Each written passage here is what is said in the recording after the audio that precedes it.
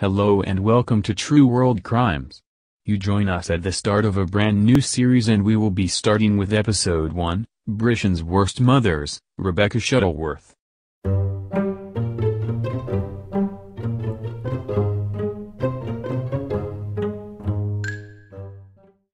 Rebecca Shuttleworth was 25 years old when she was handed an 18-year sentence for the murder of her two-year-old son Keanu Williams who was found dead in her ex-boyfriend's flat in Ward End, Birmingham with a sickening amount of injuries including a fist-sized rip on his stomach, fractured skull and bite marks. He was found with 37 different injuries altogether, some being caused by a stick of some sort. The ex, Luke Southerton, who was 32 at the time, was convicted of a single child cruelty offense of biting Keanu to teach him a lesson as he said. He received a nine-month suspended sentence and had to work 200 hours of unpaid work. This was another case where authorities and social workers failed to intervene and it was a cruel lesson for the Safeguarding Children Board. It is clear that professionals and different agencies involved missed a significant amount of opportunities to take action in Birmingham. This wasn't the first time in recent years serious failings happened in Birmingham city care agencies and we will cover some more stories from the area in future. Rebecca Shuttleworth was only 25 years old at the time of sentencing. After a trial lasting over five months, a jury convicted her of the brutal murder of her own two-year-old son. He was a defenseless child, and it was her duty to protect him. Instead, she beat him so severely that he died a lingering death from his injuries a couple of days after. Also, she was convicted of offenses of cruelty to Keanu by assaulting him on several occasions in the months leading up to his death, resulting in significant injuries. The jury found each and every one of the multiple allegations proved. You have been convicted of cruelty and neglecting Keanu in the last hours of his life by failing to summon the medical aid he so badly needed. She was also convicted of cruelty towards her older daughter in 2005 by deliberately burning her hand and wrist. Luke Southerton, was 32 years old. He was acquitted by the jury of any involvement in the death of Keanu, and acquitted of all allegations of child cruelty bar one occasion when you deliberately bit Keanu which Rebecca Shuttleworth instigated, supposedly as a way of teaching him not to bite when this two-year-old child had bitten him. Keanu was a delightful little boy, described as a real character, a little entertainer, who remained cheerful despite everything. Joyful was the word that more than one witness used to describe him. He was a much-loved brother, grandson, nephew and cousin. He was a favorite at nursery as well as in the family, his death left a void in many lives which will never be filled. Rebecca Shuttleworth was born to a very poor start in life with a disrupted childhood spent in and out of care. She lost her mother and grandmother within a matter of weeks when she was only 18 years old. She had never been in trouble with the police and she was said to be an intelligent young woman. She learned to be resilient and streetwise and after observation, that she was also said to be very manipulative and deceitful. She was always able to create a good impression when it was needed. She became involved in an abusive relationship with a violent man and at the age of only 16 where she gave birth to twins. Her father provided a home for them all. He took over full responsibility for the children in 2007 when a residence order was made in his favor. She left her father to look after the twins and moved to Torquay in 2007, where she attempted to make a new life for herself. She met a much older man and soon fell pregnant with Keanu who was born on 11th of December 2008. Rebecca had help and support from social services in looking after him in a structured setting for the first few months of his life. She had impressed the social workers sufficiently to pass various assessments and persuaded them that her parenting was good enough. Even then, however, there were signs of neglect and ill treatment of Keanu particularly when she was away from the eyes of the professionals. She failed to attend appropriately to his needs and failed to wash and clean him and his clothes while persistently neglecting to change his nappy and this wasn't through a lack of practical skills. This caused him discomfort and distress. The social workers made clear the negative impact on any small child of being sworn and shouted at but she laughed it off as simply part of her character. In the summer of 2009, she returned to live in Birmingham with Keanu. she was able to be provided with a home and a great deal of practical support by her friend Kay Filmer and her mother Karen Selvey. They were shocked on occasions by the way she treated Keanu, failing to attend to his basic needs like nappy changing which I wonder why they didn't say something sooner. Rebecca never gave him the time and attention he needed and craved and was more interested in pursuing her own selfish interests. Despite this, Keanu relished the attention he received from Rebecca when she could be bothered to do so and there is no doubt that there was a strong bond between the two of them. That was observed by the professionals at the nursery, and on the face of it all was well. Rebecca, and Luke, were then living in a hostel in Birmingham in the wake of a painful separation from her long-term partner which necessarily limited the amount of contact Luke was able to have with his own two boys one of whom was only a few months older than Keanu. Rebecca Shuttleworth became infatuated with Luke and he in turn was surely flattered by her attention. She was the dominant personality in the relationship. But as Luke told his friend Wayne Collins, Rebecca and Keanu came as a package and was prepared to put up with him as the price of seeing more of then girlfriend, Rebecca. There is no criticism whatsoever as a father to his own boys but had double standards when it came to Keanu. He would never have dreamed of biting one of your own sons in the way he did to Keanu, even to teach him a lesson. That was the first deliberate assault inflicted on Keanu. Rebecca encouraged him to inflict the bite. Luke Southerton, bit Keanu very hard on his bare arm, causing a nasty injury involving bruising and breaking of the skin. He surprised himself by the ferocity of the bite and expressed regret to friend Wayne Collins. Rebecca covered up what her boyfriend had done by lying at nursery and saying that Keanu had been bitten by his cousin. On 7, 2011 December, Rebecca took Keanu to hospital with a head injury that had been inflicted that day when she returned to Luke's flat after he had been babysitting for Keanu. There was a very prominent bruise to his forehead with indications of tramline markings which strongly suggested he was hit with a stick. At hospital, Rebecca misled the consultant nurse that she saw by pretending that it was a recurrence of an earlier injury the previous week and that the original injury had been caused by a fall at nursery. On 9th of December, two days later, Keanu was taken to hospital again with a series of injuries. There was a nasty burn to the sole of his foot with bruising on the upper part of the foot consistent with his foot being held by force against a hot radiator or another hot surface. On the jury's verdict, Rebecca had deliberately inflicted that injury. It is horribly reminiscent of the injury that she had inflicted nearly five years earlier on another child. Instead of seeking professional medical attention for this burn you merely put some cream on it and left Keanu to limp in pain all day until he had to go to a hospital that evening when even more serious injuries had been caused. Sometime on the 9th December, a further head injury was inflicted on Keanu, this time resulting in bruising and boggy swelling to the top of his head. There must have been a substantial blow to his head, quite probably a stick, becoming concerned by the early evening and called NHS Direct to ask for advice, although just wanting some advice over the phone without having to take Keanu into hospital where all these injuries would be examined critically by medical staff and quite possibly by social services which he obviously did not want.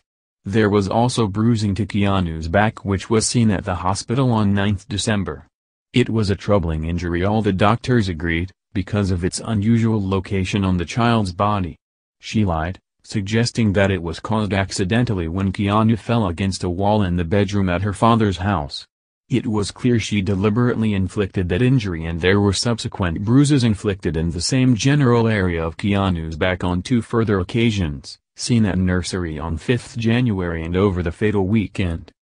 Around Christmas or New Year Rebecca Shuttleworth, was confronted by her sister Angela regarding the handprint bruises she had inflicted on Keanu's buttocks which she discovered when she was bathing him.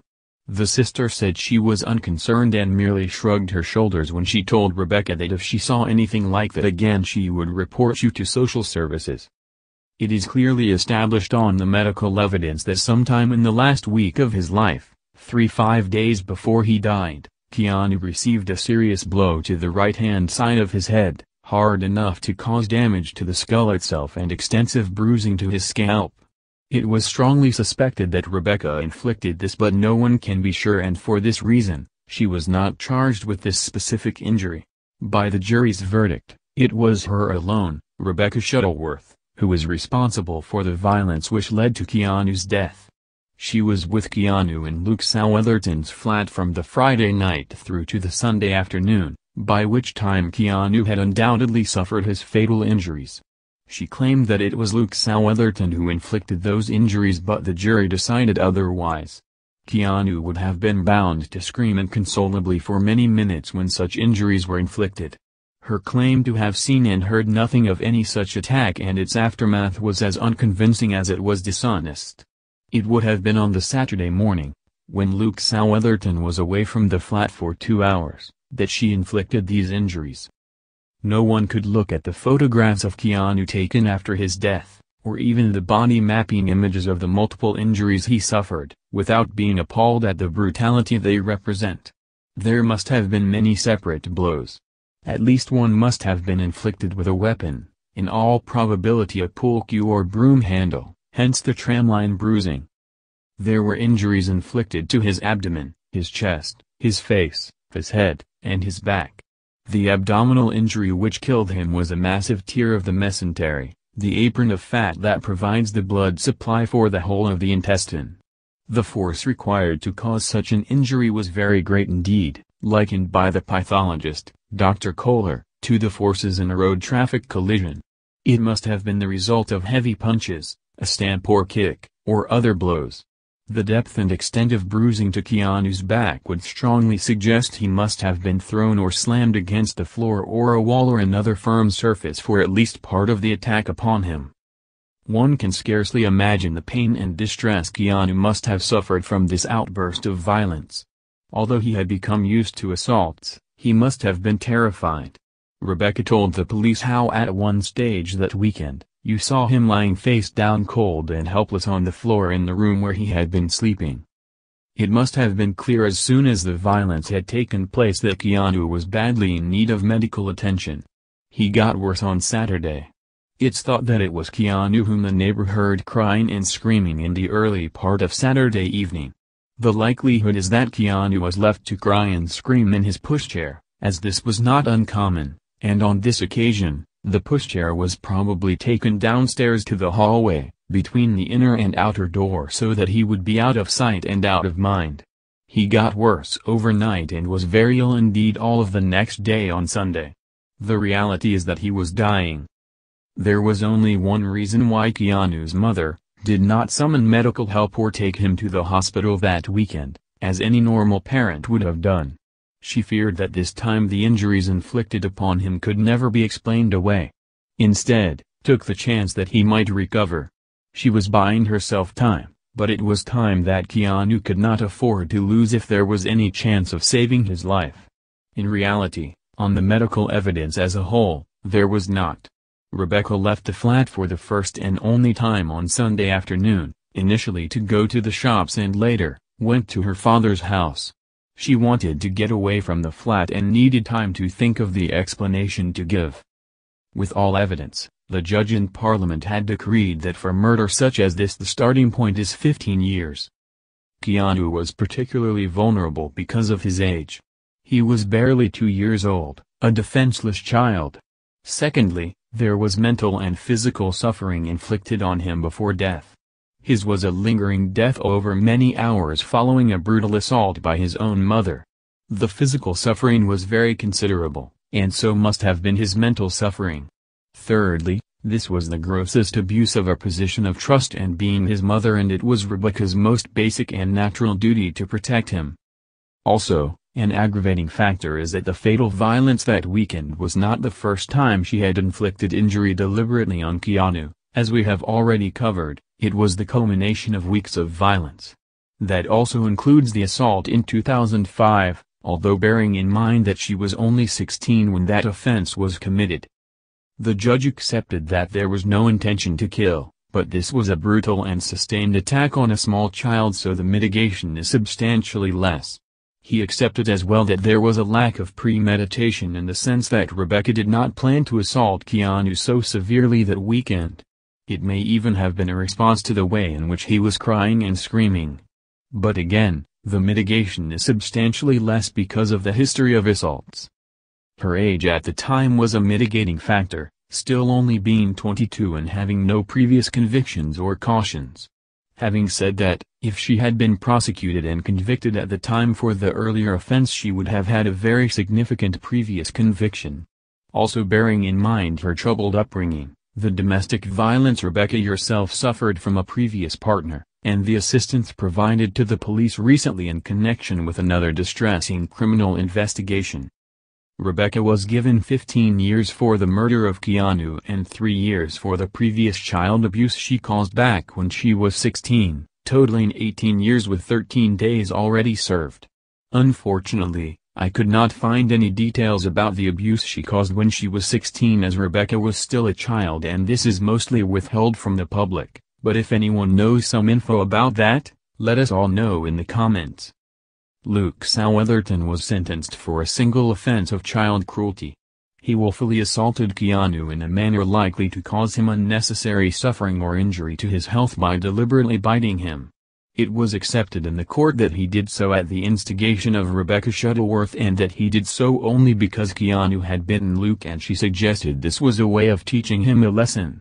But that cannot excuse you, a grown man, biting the arm of a two-year-old child hard enough to break the skin and leave a large bruise with obvious teeth marks, as the witnesses described. The judge was satisfied it was done in anger, although Luke regretted it straight away when the realization kicked in of what just happened. He admitted to the police in an interview that he had bitten Keanu but deliberately played down the seriousness of what was, frankly, a shocking injury. The judge said this when reading Luke's sentence dash. I have read the material placed before me by your counsel which confirms everything in the evidence the jury heard during the trial about the quality of your relationship with your sons, and your generally placid nature. I have been assisted by a pre-sentence report. I have also read the psychologist's report from Dr. Tim Hull, dated 9th of March 2012, from which it is evident that you are of limited intellectual ability. There is nothing, however, to indicate that you were not fully in possession of your faculties at the time of the offense. You were weak and, to an extent, naive. You have endured the strain of five months on trial for murder, on top of two years waiting for the trial to begin. You have spent a total of 13 days on remand during the course of the proceedings. All those factors enable me to take a course that does not involve your going to prison today. This was, however, a serious offense. I have considered the Sentencing Council guideline for assaults on children and cruelty to the child. I am satisfied that your offense merits a short term of imprisonment, but for the reasons I have explained, I am able to follow the recommendation in the pre-sentence report to suspend that sentence.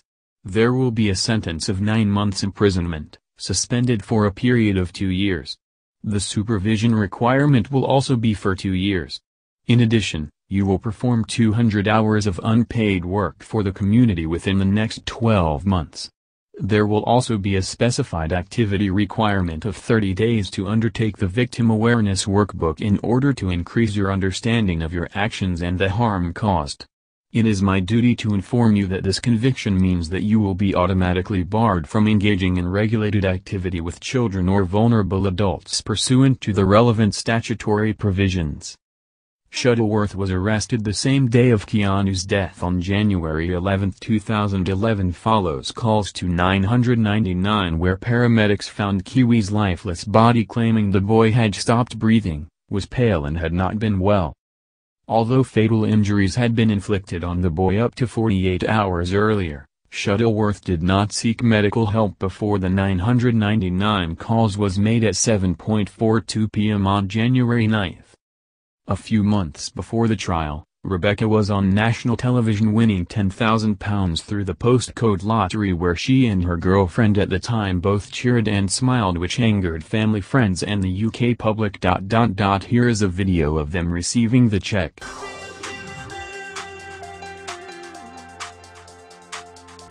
This is all very technical, isn't it? It's Kirsty. Yes. Hello.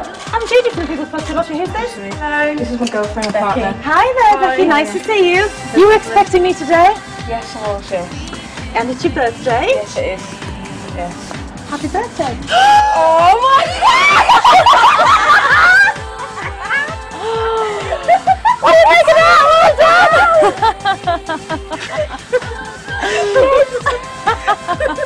Oh Oh god, sorry. I don't know what to say. It's amazing. It's just going to change my life completely. Is it? Yeah, completely. And what are you going to spend it on? I don't have a clue. I know what I'm doing. I'm doing a flat up anyway. Yeah. We're the area. Yeah. Uh, and we're going to go on a holiday, I think. Yeah. Well, congratulations. Enjoy every single penny of it, the pair of you. Well done. And thanks for playing. Yeah. On June 25, 2013 Rebecca was sentenced to 18 years, life imprisonment for four counts of child cruelty and one count of murder by multiple injuries through beating and internal bleeding over a period of days. She will be eligible for parole on 22nd of June 2031. So to sum up it seems as if Rebecca resented the birth of Keanu and felt he was an obstruction to living her life as she wanted. She spent much of her childhood in care as her alcoholic mother struggled to cope, giving her considerable experience of the care system. Following Keanu's birth, she received extensive support from health and social workers, posing as an attentive mother at parenting classes. Personally, I feel like she never cared and she had many times, avoided trouble and lied her way to her own son's death. To be given only 18 years with a chance of being released when she is 43 years old seems crazy. What do you guys think? Thank you and goodbye.